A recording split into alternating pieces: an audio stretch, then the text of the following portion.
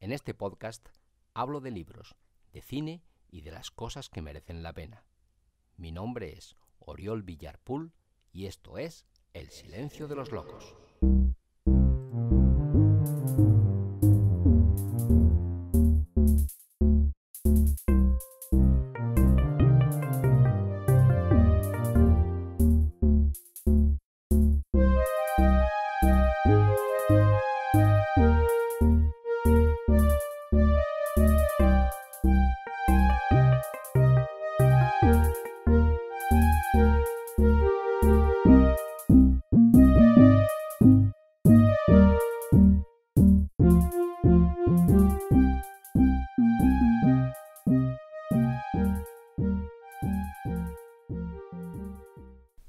Alguien a quien apenas conozco recientemente me contó una historia.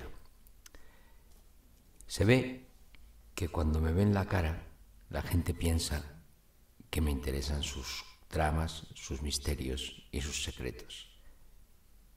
Y en eso tienen razón. Esta chica era alguien a quien me solía encontrar cuando tomaba café por las mañanas. Y cierta mañana no sé muy bien cuál fue la razón. Nos sentamos juntos en la mesa y charlamos. A los dos minutos de conversación, casi sin saber cómo llegamos allí, me contó lo siguiente. Me contó que cuando se fue a vivir con su primer novio, cuando decidió compartir su vida, compartir su día y compartir sus noches, compraron un piso y se fueron a vivir a él. Era un piso que había sido de un matrimonio mayor. Ese matrimonio ya no vivía en la casa y los tratos de compra los hicieron con los hijos.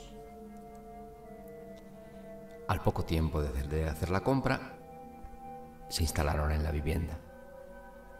Y esta chica, que desde siempre había sentido que tenía cierto poder sensitivo para percibir cosas que los demás no percibían, comenzó a sentir desde la primera noche que pasó en aquella casa ciertas cosas, empezó a tener ciertas sensaciones por las cuales ella pensaba que no estaba sola. Empezaron a ocurrir cosas extrañas. Al coger una caja, una jarra de cristal de la encimera de la cocina, esta saltó en mil pedazos, empapando toda la habitación, empapándola a ella y dejando los cristales rotos por toda la habitación. En otras ocasiones las luces eran las que se encendían o se apagaban. La radio se ponía en marcha. El frigorífico aparecía con la puerta abierta. Los libros se caían de sus estanterías y demás cosas. Ella sentía que en esa casa había algo. Y salvo, salvo aquellas cosas que eran puramente físicas, que su compañero, que su pareja, que su novio, podía percibir igual que ella, Todas aquellas otras cosas que eran intangibles, solo las sentía ella. Ella estaba acostumbrada desde pequeña a percibirlas y entonces tampoco les tenía especial miedo. Pero aquello estaba empezando a ser demasiado intenso. Una noche, a eso de las dos de la mañana, de pronto se despertó sobresaltada porque oyó una música atronadora. Esa música pertenecía a una ópera había una soprano cantando a todo pulmón a las dos y media de la mañana en su casa. Se levantó de la cama sobresaltada, fue hasta la sala y allí vio que la televisión se había encendido sola. En esa casa solamente estaban ella y su pareja. Luego, nadie más que él o ella podían haberlo hecho. Y sin embargo la televisión estaba encendida y estaba sonando a todo volumen una ópera de Mozart. Ella se asustó. Le, pareció sobrecogedor e incluso le pareció hasta poético que lo que sonara en aquella habitación fuera Mozart. Apagó la televisión. No estaba muy segura de qué es lo que estaba pasando, pero decidió volver a la cama sin darle más importancia. Cuando encaminó, se encaminó a su habitación por el pasillo, entonces descubrió que la puerta de la calle estaba abierta. Eso le asustó un poco más. Revisó la casa, encendió todas las luces y pudo comprobar que en casa no había nadie, más que ella y su pareja, que curiosamente había vuelto a dormir. De manera que ella pensó, aquí está ocurriendo algo y aquí hay algo o alguien que no tiene ninguna gana de que yo esté aquí. Entonces decidió averiguar quién había vivido en esa casa y descubrió que el matrimonio mayor ya no vivía en esa casa porque ella había muerto arrollada por un coche en un accidente en un pueblo, en el pueblo en el que pasaban las vacaciones. Ella fue al pueblo en cuestión e indagó y descubrió toda la verdad de aquella trágica muerte, de aquella muerte inesperada que había truncado la vida de ella y hundido la vida de él.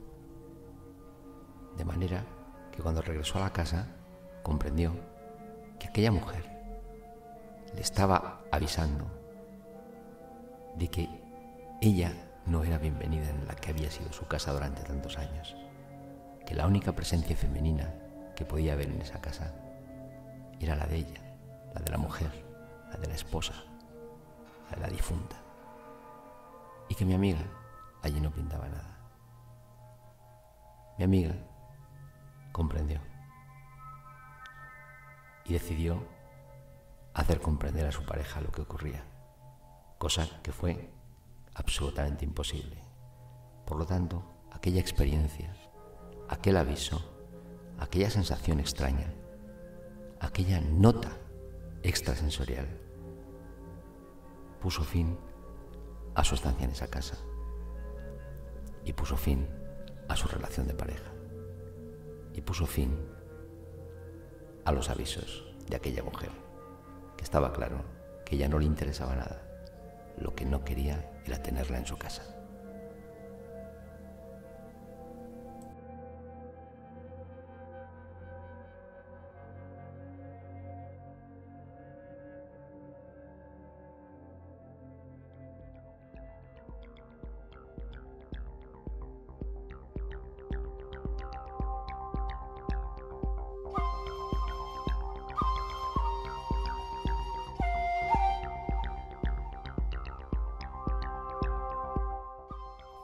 Muchas gracias por haber llegado hasta aquí. Recuerda que si te apetece saber más de mí o conocer mejor lo que escribo, puedes y debes visitar mi web www.oriolvillar.es. Allí encontrarás relatos, poemas, textos teatrales, guiones de cine, artículos y muchas cosas más.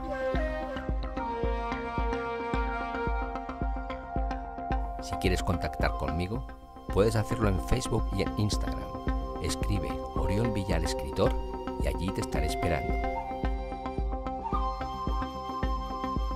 Si te apetece adquirir mi libro Microdolor, escribe en Google Microdolor Amazon y lo tendrás a un solo clic de ti. Si prefieres el correo electrónico, contacto arroba oriolvillar.es es tu opción.